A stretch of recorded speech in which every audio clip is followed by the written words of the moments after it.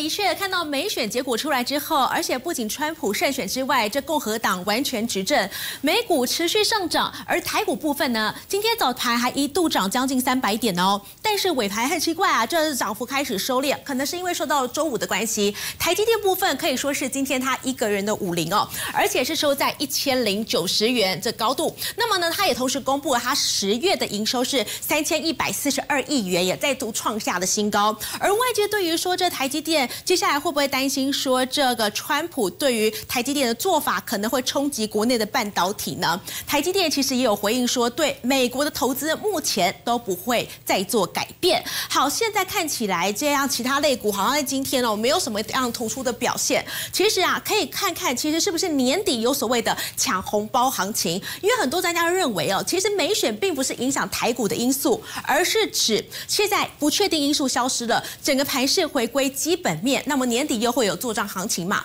但是尽管如此，还是要留意现在外界可能对于说启动这个涨停的讯号，但是风险还是有的。包括如果现在您看到这市场情绪相当高的话，那还要去追高吗？第二个就是之前不断谈到的川普的关税壁垒会不会造成这中美贸易战再起？那也许此刻可以开始留意，包括塑化、军工、生技等等相关的转单效应。还有就是美国通膨会不会因为川普当选再次起起来呢？而且降息一码之后，你也可以看到，本来外界觉得最近不太看好的黄金啊，或是债券啊，纷纷又开始回档了嘛。那么投资理财的话，我们看到下一张，有些人可能觉得这样子进进出出，包括布局在可能台积电概念股啊、AI 伺服器啊，还有比特币相关，认为可以赚到一波。但是呢，这个盘势常常会让人家觉得有点失望哦，因为进场的时候马上呢就被割韭菜嘛。小型市民该怎么办呢？也许你不用这样子进进出出去台股那边操作，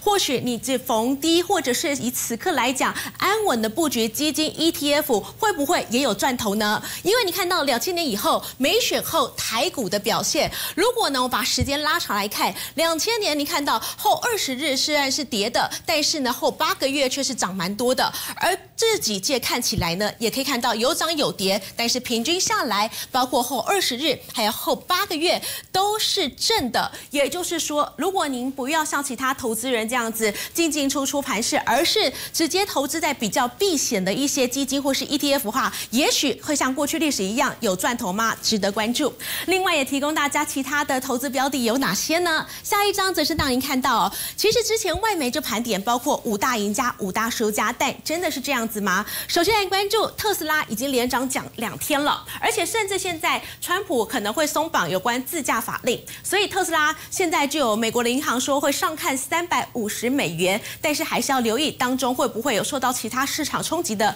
攸关的风险存在呢？另外，这五大输家尽管被点名，包括中国股票，还有呢这美国公债，但是你也可以看到，由于受到中国大陆的一些救市的消息激励，这几天呢其实中国股票还涨得蛮多的。所以说啊，接下来就要看这川普再度入主白宫之后呢，这些标的还能不能涨？以上呢是这节财经。推播，再把时间还给赵和。